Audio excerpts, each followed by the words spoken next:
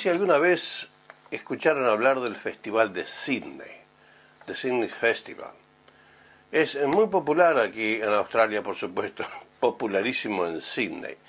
Es un festival que corre durante tres semanas en enero de todos los años.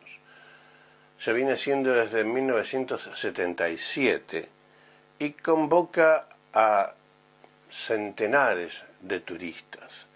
Más de medio millón de turistas alrededor de Sydney durante esas tres semanas, incluso turistas eh, internacionales.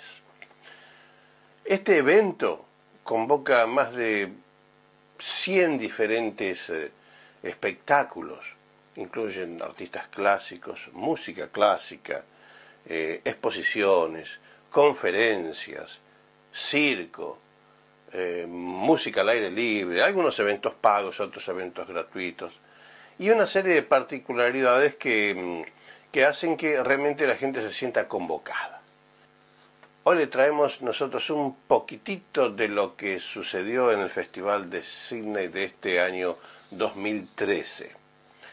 Un poquitito porque sería imposible darle un vistazo de cada uno de los tantos eventos que sucedieron.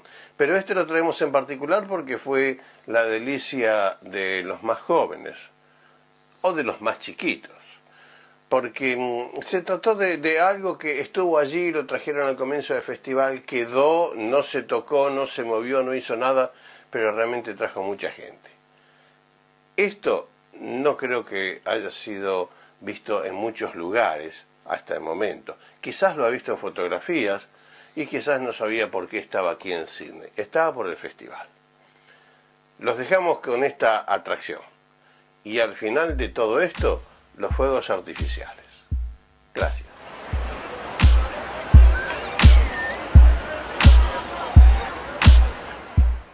El origen del festival de Sydney o el Sydney Festival data de 1956, cuando se realizaba el Guarata Festival y que se hacía desde los finales de octubre hasta los comienzos de noviembre, coincidiendo con el brote de la flor distintiva del estado de Nueva Gales del Sur, o sea, New South Wales, que era y es el Guarata.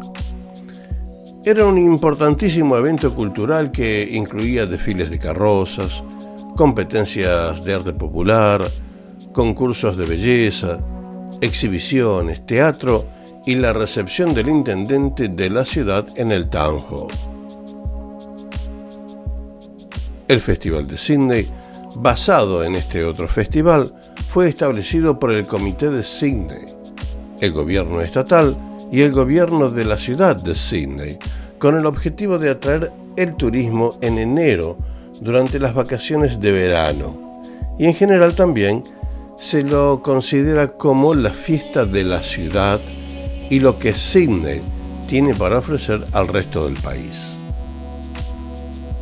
En los comienzos de este festival, las actividades ofrecían rallies de automóviles antiguos, competición de barriletes, demostraciones de obediencia canina y también bailes chinos.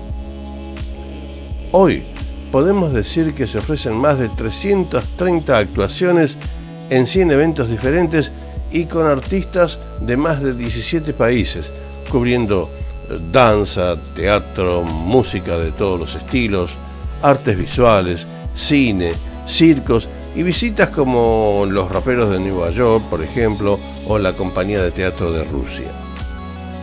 Para todos los espectáculos se utilizan lugares como el Opera House, The Domain, el Jardín Botánico, Circular Key y otros incluso se realizan en la ciudad de Parramatta. El Festival de Sydney se realiza todos los años durante el mes de enero.